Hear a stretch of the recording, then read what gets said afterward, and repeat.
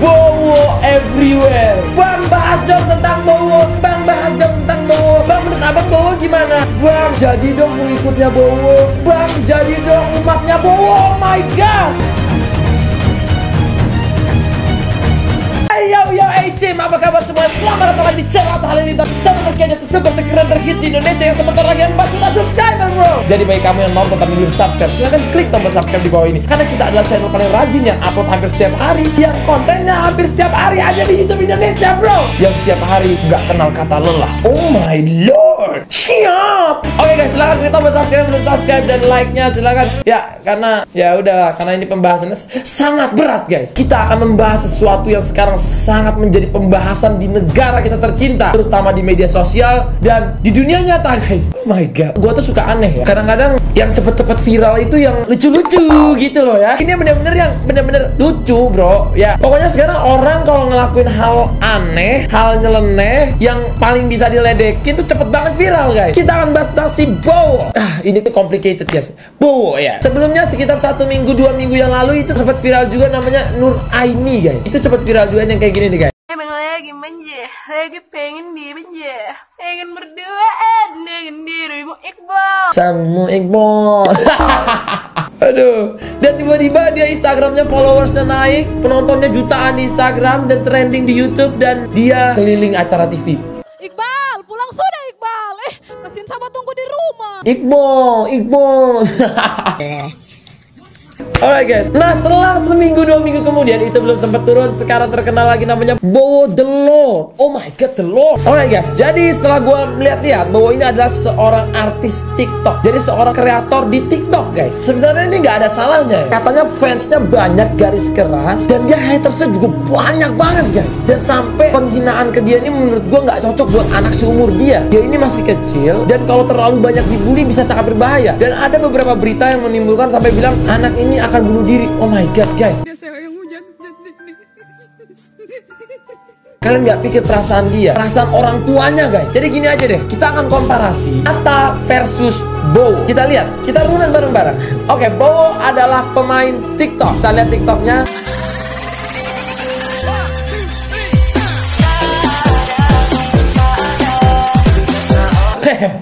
Stop. Sekarang itu TikTok dia. Dan ya, sorry guys. Ini gua juga main TikTok. Eh, Oke, jangan dihina juga ya. Uh, ya, ini. the bank.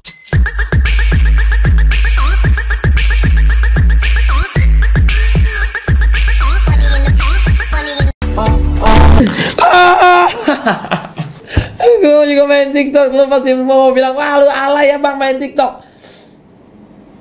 Kenapa gitu? Kenapa harus orang main TikTok dibilang alay itu kenapa gitu? Ya perbedaannya Bowo main TikTok, main TikTok. Gua main TikTok itu dibayar guys. ya terus terang aja. Kalau nggak dibayar sih agak-agak mager sih sebenarnya. Enggak, maksud gak gini guys. Ya walaupun gue dibayar apa pun itulah, tapi kan kenapa main TikTok tuh harus dipermasalahkan? Kenapa main TikTok tuh harus dibilang alay gitu? Kalau dia niatnya untuk menghibur diri sendiri, menghibur orang lain, dan waktu dia main TikTok ada yang suka, apa problemnya guys? Ya apa problemnya? Apa yang salah dengan aplikasi itu? Sama kayak orang main YouTube, main Instagram. Kalau kita lihat ada, uh dia di Instagram jelek deh isi. Jangan salahin Instagramnya, jangan salahin YouTube-nya, tapi salahin kreatornya gitu loh guys ya. Tapi kalau menurut gue dia cuma having fun gitu-gitu salahnya apa gitu loh ya kita runut sama-sama nih kenapa dia bisa dibenci ini kita runut ya kalau untuk aplikasi sih enggak gitu ya nah kecuali ya emang ada yang, ala-ala itu bisa dibilang misalnya kayak ya dia ada main TikTok sambil ke mayat neneknya gitu ya neneknya lagi meninggal dia main TikTok ada yang mempermainkan ibadah ya dia ibadah lagi sholat dan itu di TikTokin sama dia dan habis itu dia joget nah itu gue benci banget guys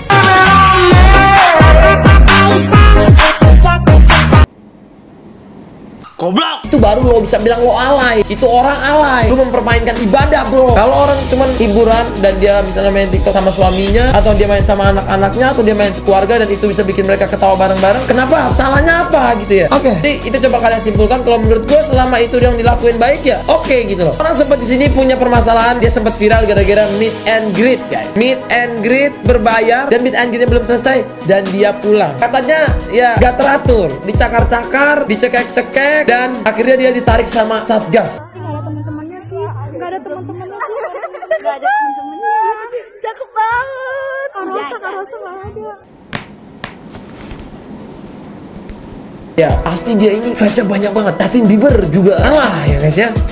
Sebenarnya gini guys, kita jangan ngomongin meet and greet. Di sini ada beritanya dia itu foto bayar. Mau foto sama dia bayar. Ya kalau menurut gue itu salah. Misalnya dia mau foto bayar 80 ribu, salah. Misalnya di jalan ada orang, bang foto dong 80 ribu dulu. Nah itu salah guys. Bang foto dong, ceban dulu. Wah salah salah jangan. Itu salah guys. Kan kita membahagiakan orang lain itu pahala guys ya. Tapi kalau meet and greet berbayar ini tergantung ya guys ya. Misalnya nih ya, ada orang bikin meet and greet dia nyewain tempat, dia siapin makanan, dia siapin acara, dia sewa MC-nya, dia bi- cari tempat yang bagus biar aman nyaman. Menurut gua kalau berbayar ya itu nggak masalah sebenarnya. Cuman ya kalau gratis lebih baik. Gua nggak bilang berbayar itu buruk dan gua nggak bilang kalau gratis itu buruk enggak. Gratis itu ya lebih baik. Cuman kalau dia udah siapin segala acaranya, dia siapin konsepnya, misalnya apalagi dia nyanyi, atau ya ibaratnya lu manggung nih, misalnya siapa nih orang hebat manggung ya kan, misalnya Coldplay dia manggung, orang pengen ketemu dia, ya bayar walaupun tiketnya mahal ya kita bayar dan berarti kita suka sama dia dan support dia untuk datang ke situ, bikin acara yang besar, bikin ongkos mereka kayak gitu-gitu ya menurut gue itu sebenarnya normal gitu. Apalagi meet and dia sambil nyanyi, sambil ngedance bareng atau dia ngajarin sesuatu ke penonton menurut gue sih normal-normal aja gitu loh kalau bayar ya, nggak masalah. Tapi kalau gratis ya lebih baik gitu loh. Jadi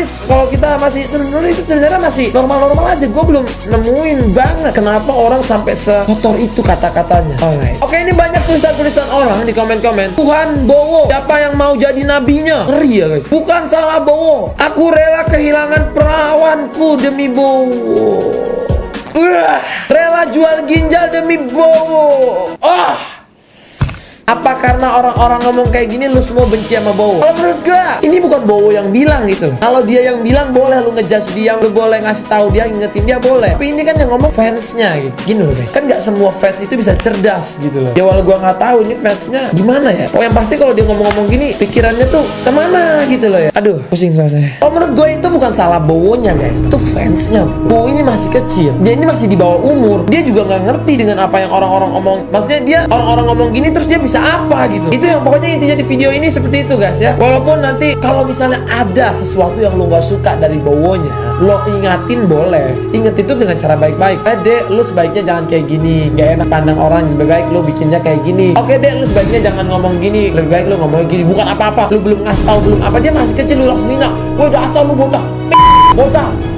Bocah lu hina hina hina hina. Kasihan dia bro. Dia masih kecil bro. Masih di bawah umur gitu. Takutnya yang ada dia bukan jadi orang baik. Kalau lu kebanyakan nyudutin dia takutnya gedenya malah jadi pribadi yang keras yang kasar gitu loh. Jadi ya gue pengen ngajak aja kita tuh stop bullying anak kecil gitu. Stop menghina-hina mencaci maki menjadikan anak-anak kecil sebagai bahan-bahan hinaan di media sosial gitu. Ingetin aja gitu loh bro. Bukan lu hina lu caci maki lu sudutin dia lu hancurin hidup dia dia malu jadi ke mana-mana dan mungkin dia ke depan publik aja malu takut diapa-apain orang.